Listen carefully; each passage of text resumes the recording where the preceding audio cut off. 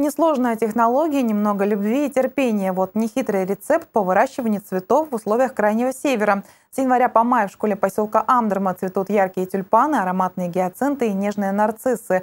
Проект по зимней выгонке луковичных растений под стилизованным названием «Фан-фан тюльпан» уже несколько лет притворяет в жизнь учитель биологии и химии Ирина Коваль и ее ученики. Помимо эстетического наслаждения, ребята из Амдерминской школы получают бесценный опыт научно-исследовательской работы.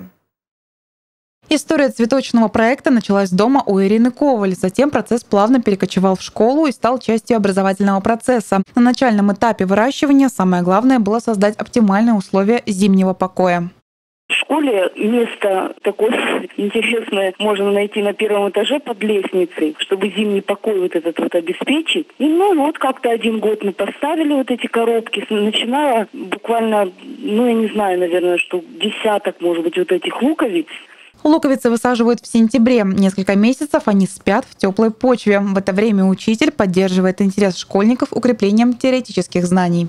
Пока вот этот зимний покой, оно приблизительно где-то на два месяца. И если не подпитывать их, вот, допустим, не проводить тематические занятия, допустим, а что луковицы внутри, там, а вот как влияют условия, а если, допустим, изменить температурный режим, вот, а как мы будем создавать там искусственную весну, если не подпитывать, то оно как-то даже за два зимних месяца оно и забывается. Но потом, когда видят уже росточки, допустим, уже достаем мы, переносим в лаборантскую, в кабинет, тогда уже, конечно, прибегают приезжают, смотрят.